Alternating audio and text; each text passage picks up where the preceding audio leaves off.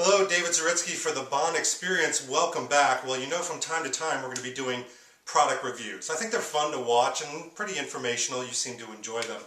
Today we're going to be doing one specifically on the Crockett & Jones Tent Berry Chukka boots. Now the Chukka boots I haven't even opened yet, so we'll see what's in store for us inside of here.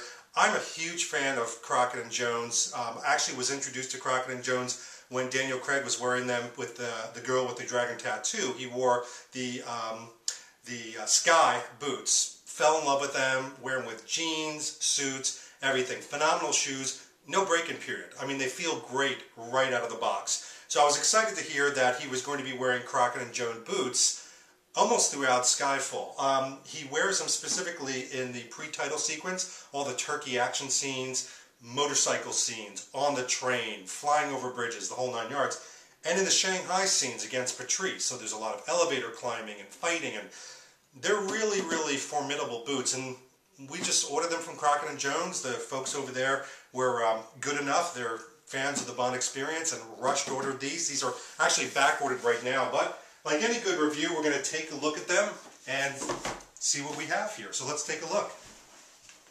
First of all, the, uh, the box itself, very nice. I keep all the boxes. I keep all my boots in there. I don't throw them into a closet. These are investments. I mean, um, if anybody knows about Crockett & Jones, um, these particular boots are made up of an antique nubuck with a Dainite sole. And the Dainite sole, um, which we'll take a look at in a second, is very, very good for rough and tumble action, walking around cities, etc. So as we open it, ah, very nice. I really haven't opened this up yet.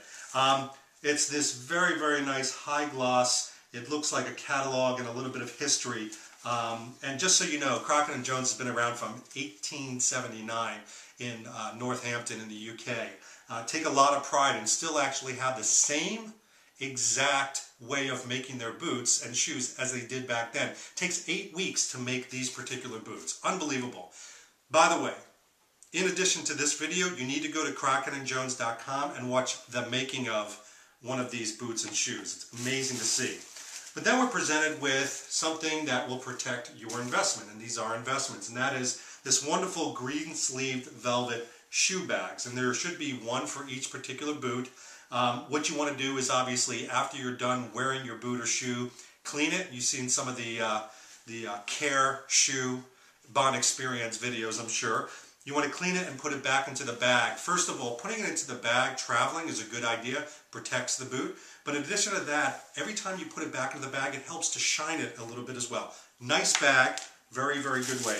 Then we've got some tissue paper, impossible to see, but um, nice Crockett & Jones inlay, so there's all that pomp and circumstance. And then we are presented with the boot itself.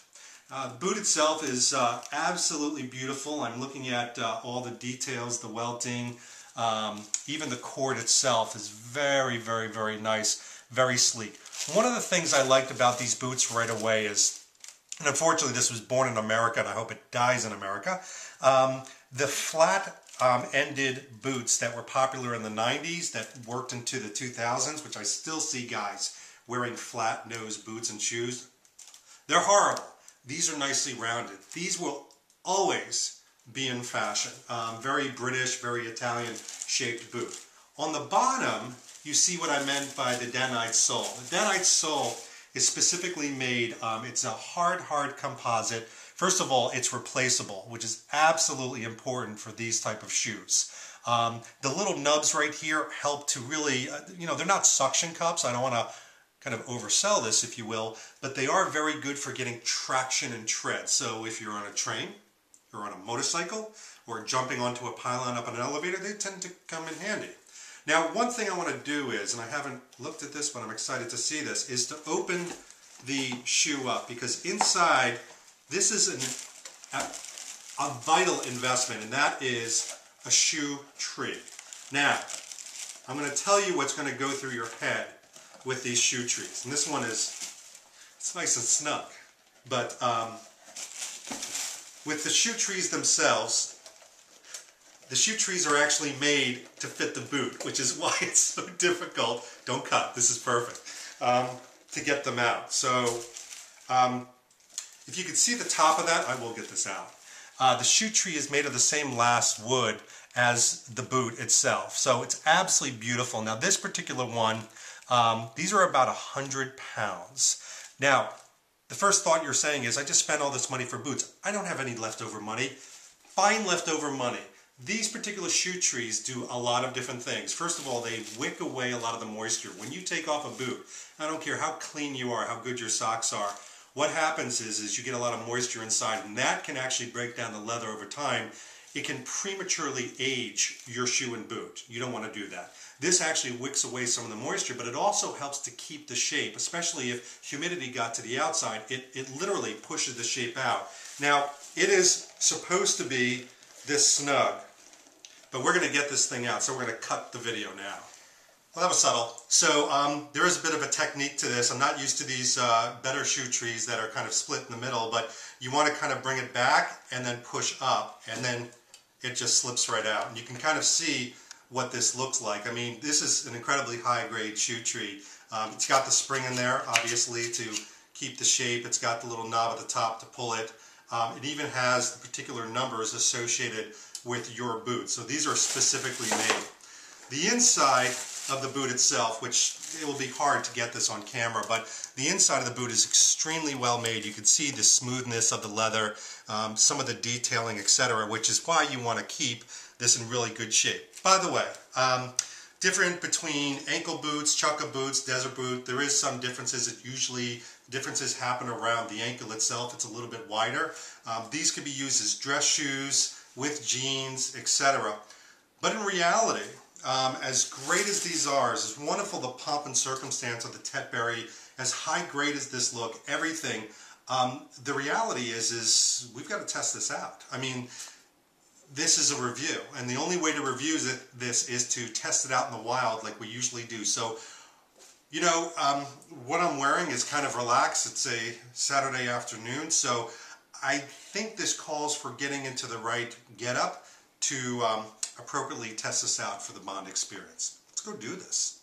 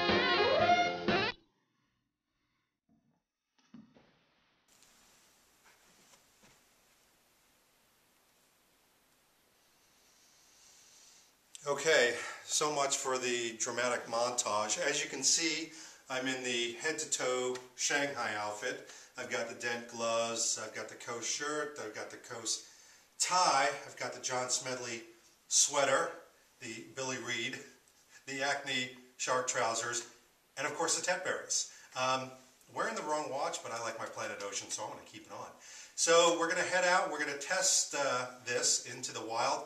What better way to do it than to start where Bond started in the pre-title sequence? Oh yeah, we're getting on a train.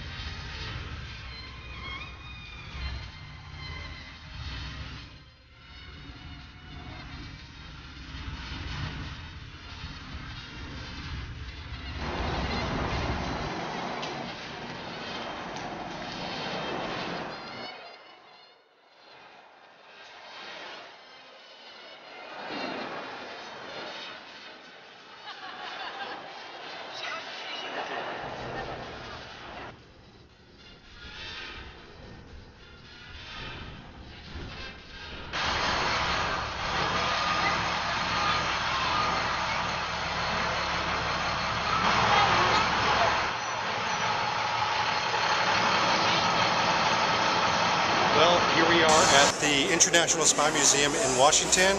Wearing the Tetburys, very comfortable, but we got some really cool eyeball candy.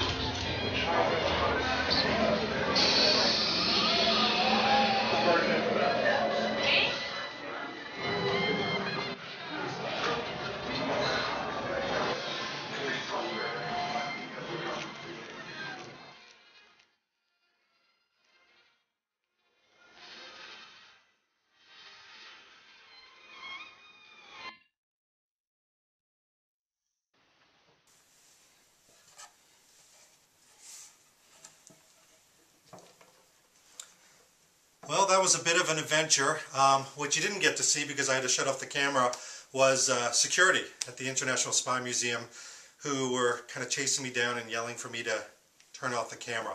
By the way, there's a blog post coming with lots of very fuzzy pictures because I was doing them on the slide around the visit to the International Spy Museum. But let's not let's not lose track of what we were doing. We were doing a review of the Tetburys from Crockett and Jones. I've got to tell you, they were so comfortable. I, Crockett and Jones, uh, they do something with their shoes. Maybe it's the eight-week process where there is no break-in. So it was comfortable. I wore them all day long. So I, I wore them on the train, uh, walking through commuters, being stepped on, uh, going to the International Spy Museum, going to a client, uh, doing a four and a half hour meeting at a client, coming back on the train, getting to the car, driving home. So I mean, every little bit of boot action I did with the Tetburys, and they were unbelievably comfortable.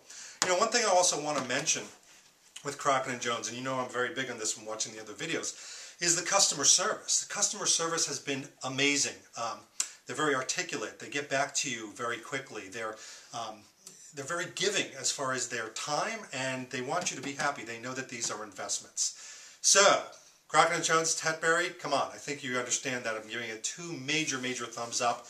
Uh, if you haven't invested in this, have fun. Think about it. I know the Isleys are um, a very big consideration since they were also highlighted, but I loved them. I'm going to be wearing them a lot. This has been David Zaritsky for the Bond Experience. We'll see you very soon. Take care.